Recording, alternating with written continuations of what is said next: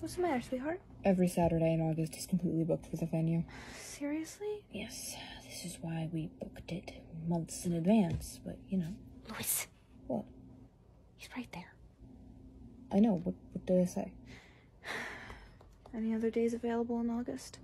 Third Tuesday is available for the entire afternoon. I could do Tuesday. Catering company charges more on Tuesdays. Mm, how much more?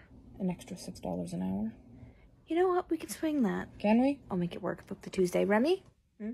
I'm just heading out for a bit, sweetie. I'll be back soon, okay? Okay. Bye, Dad. Okay. Love you. Love you. Love you too.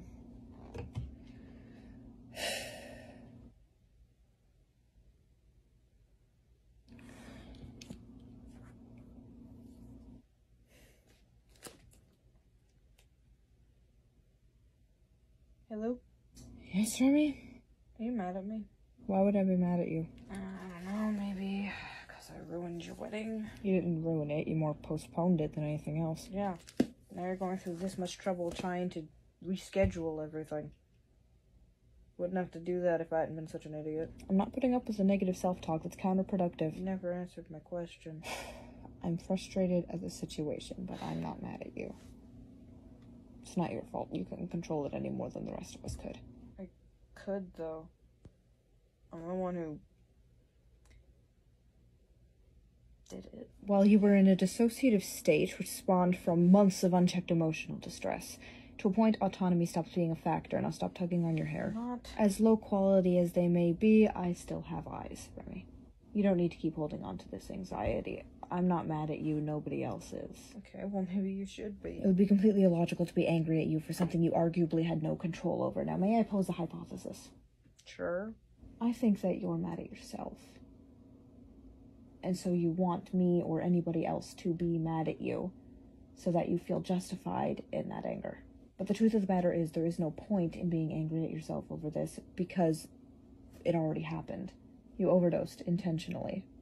You fell into a comatose state, but you woke up, you survived, and somehow there's no long lasting damage to your liver or any other part of your body other than your mind. Any anger you hold towards yourself at that is irrational, though I know it feels real, and you should be talking it through with your therapist.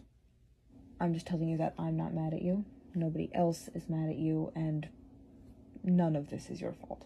Okay? No, okay. What do you mean, no? I don't know what it is, but no matter how many people tell me that it's okay and it's not my fault, it still feels like it is.